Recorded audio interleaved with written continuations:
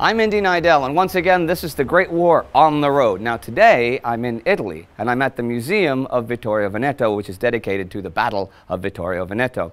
Um, and here is the outside of the museum. Now, I'm going to go inside and look at some stuff, but first, what I want to look at is what's on the first floor of the museum. You see, after the Battle of Cap Caporetto, when the front stabilized at the Piave River, the Central Powers occupied all of that Italian territory north of the Piave for a year until the Battle of Vittorio Veneto freed that part of Italy. Now, we're going to go in and first look at what happens during an occupation.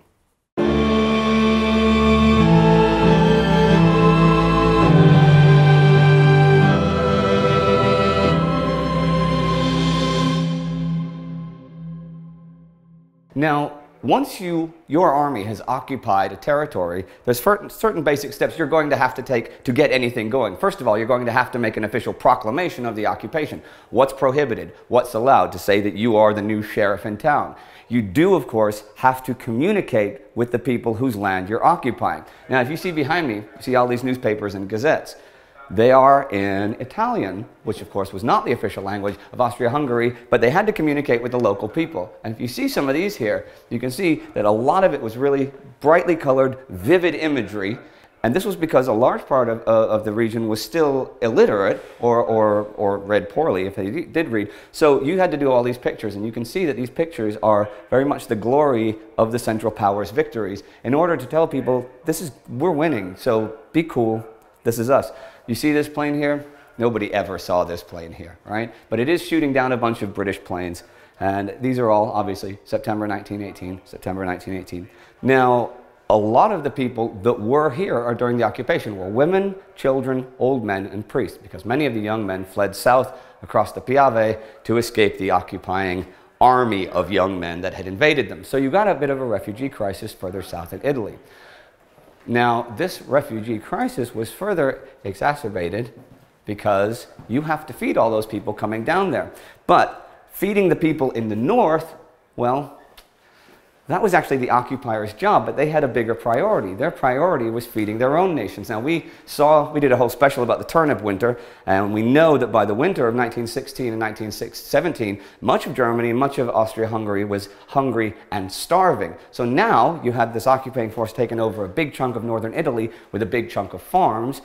It wasn't just food supplies that were being requisitioned, though. Everything was being requisitioned. They took, they took the bells down from the churches to take the metal, to use the metal to make weapons and ammunitions. So this was not an especially happy time for the people under occupation who had had a fair amount of food beforehand, but now found themselves hungry because the food was being taken away from them. So if you're upset with your occupiers, what do you do? You create a resistance. You create spirings. You create, uh, here, here's some, uh, here's some uh, Tandura, and there's another book over there. These were people who were actually spies, and these are their, their, the works they left behind. Now, this basket here, they would use carrier pigeons to communicate their intelligence back to whoever their handler uh, further south in Italy was. Now, we saw one spy ring, actually, which we talked about in our regular episodes, the Nili spy ring um, in the Ottoman Empire in Palestine, broken up because a carrier pigeon flew wrong and was intercepted by the Ottoman Empire, and it led to the destruction of that ring. As far as I'm aware, that didn't happen here, but you can see what a dangerous game it is to play. You're behind enemy lines, you are a spy, you have to send your information to the unoccupied part of your country. Uh, another means of communication was they would use, put, hang blankets in their windows, and by moving the blanket would signal to planes that were flying by. They would signal information. I don't know exactly what sort of signal system they used, but I think that's pretty ingenious because you wouldn't, you wouldn't guess that. Let's move into here and stuff. Because uh, I mentioned the languages and stuff. You see all of this. I mean, nobody, nobody had more languages than Austria-Hungary.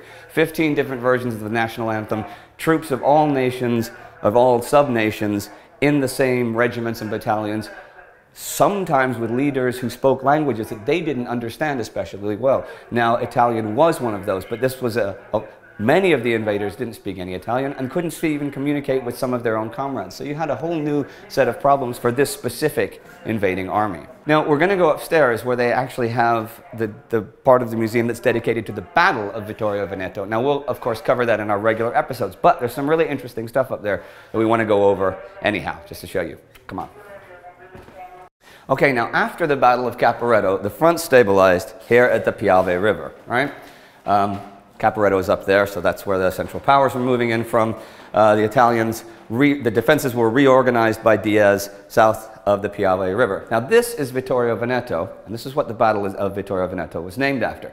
Thing is, now von Below, the, uh, the commander of the German 14th Army that spearheaded, that led the invasion, he was told by, by um, Ludendorff when he was given the men and the army to, to put together the invasion, to do the limited, the most limited offensive he could, and get so he could get his men back by December, so they'd be ready for German offensives on the Western Front in the spring of 1918. So von Below took this very seriously, and he did not want to be an occupying army, even though his generals and colonels below him wanted to do, achieve total victory over the Italians.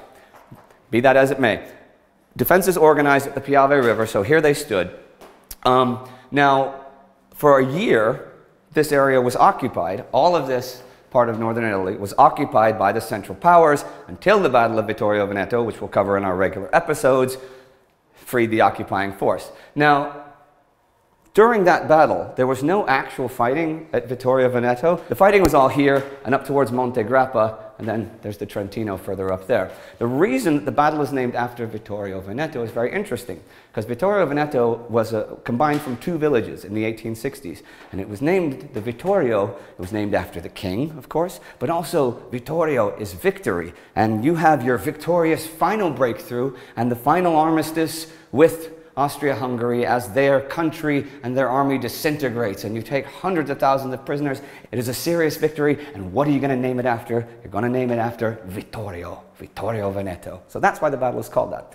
I think this map is fantastic actually and you can see how the way the Piave works, how it just winds around like that. And the reason that this was the center of of the, this was the headquarters of the Central Powers, even though it was quite far away from the actual front, was because these passes and valleys here could give you a direct line to send information to Berlin and to Vienna. So very strategically important. Uh, oh, I want to show you something while I'm standing here. This is probably the most important thing you will ever see on this channel, The Great War, right? They're talking about the first phase of the battle. What does it say? The first phase did not go as planned. That sums up the entire Great War, everything we've talked about for the last few years, because the first phase of nothing went as planned. And in fact, the second phase, third phase, fourth phase, nothing ever went as planned. The closest I can think went as planned was maybe Operation Albion. But even that, you know, this is the Great War. This is modern war. Nothing goes as planned. So that made me very happy to read that because it summed up the entire war in one single sentence. All right?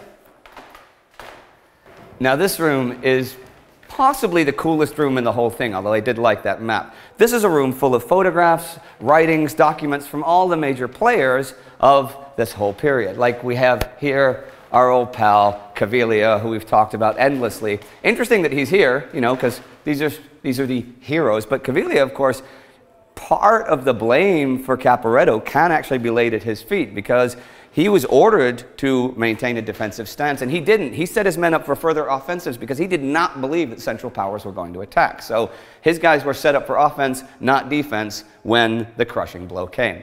Hello, Caviglia. Nice to see you. Um, who else? Oh, there's, uh, okay, D'Annunzio Gabriel. We talked about him in the Italy special, and he will be notorious after the war, but that's after the war, so you can definitely look him up yourself and see all kinds of stuff that he did in the early 20s. Uh, here's Lord Cavan. He was in charge of the British troops at uh, Vittorio Veneto, which is interesting because it wasn't just an Italian operation. This was a combined operation in contrast to most of the battles on the Italian front. There were 51 Italian divisions fighting. There were uh, British divisions, French divisions, an American division. There was the Czech legions were fighting. The Romanian legion was fighting. A real combined military operation. And I want to take you guys into this room because I want you to see something here.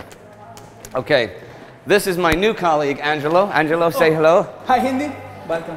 Okay, now Angelo is going to translate this proclamation for me because uh, it's cool and I want you guys to hear this, okay? Just, okay. We now know that Italian soldiers on the Piave have heard on, in the night women screaming on the other side of the river. They well know what's happening on the other side they heard from prisoners stories, horrific stories, citizens, slaughters, cows and horses taken away, everything taken away.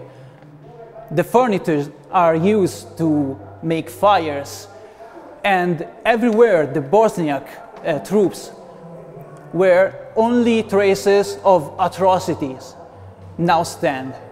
That's Austria, that's Germany, and that's your satellites, Bulgaria and Turk. And that is propaganda at its best, because this is November 1917, just a couple weeks after Caporetto. So now the Italians in South were talking about the horrible, horrible things that these evil Central Powers people were doing. Thank you very much for that, Angelo. It's nice to have you here. Um, now, you guys should definitely visit this museum if you're ever in the neighborhood because we've only seen a little bit of it and especially like the room with the photos and stuff. It's amazing. It's, and uh, the exhibitions are really cool. There's an entire an arsenal so you can see uh, weapons from not just the, the Italians, from the Austro-Hungarians. Uh, it's all the weapons that the guy that founded the museum actually collected. Now I'm going to end with something that I think some of you are going to like. Okay. Now, we did a special, a bio special on Luigi Cadorna, the uh, chief of staff of the Italian army, until after Caporetto when he lost his job. And if you want to see that, you can click right here. But don't do it just yet, because if you walk back, there's a very nice picture of, ladies and gentlemen, our old pal, Generalissimo Luigi Cadorna. See you next time.